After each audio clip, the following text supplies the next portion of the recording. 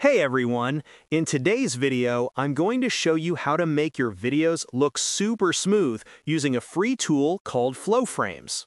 So, let's start. Open browser and search for FlowFrames. Click the first link. After you reach here, click on Download Now, then click Take Me to Downloads. Download the installer file and follow the installation instructions.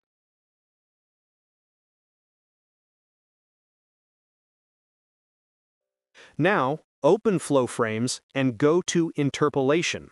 Here, you can see different models. I will choose the first one since I have an NVIDIA GPU.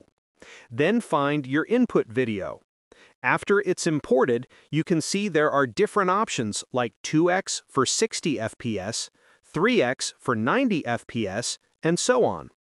I will choose 2x here. After that, you just have to press Interpolate and wait for the process to finish.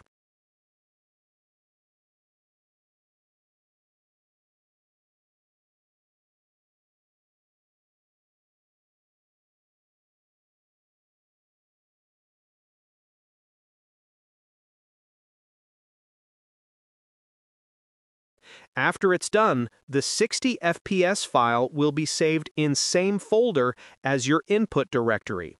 If you found it helpful, make sure to give it a like and subscribe.